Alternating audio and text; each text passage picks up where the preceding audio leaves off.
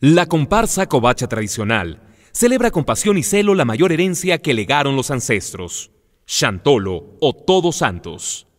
Suena el cuerno con 15 días de anticipación. Llama a reunión. Los ensayos de la viejada van a empezar. El violín, la jarana y la quinta guapanguera embriagarán con los sones característicos que el buen bailador desgranará con su zapateado. Se ofrenda y baila del 31 de octubre al 3 de noviembre. El 31 de octubre se venera y ofrenda a los niños. El 1 de noviembre a todos los santos. El día 2 a los fieles difuntos. Y el día 3 se agradece la visita y se les da con nostalgia la despedida.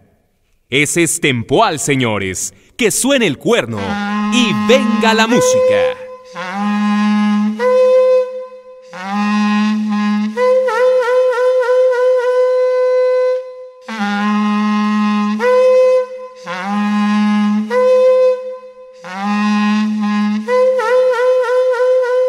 Matlachines de Tempoal.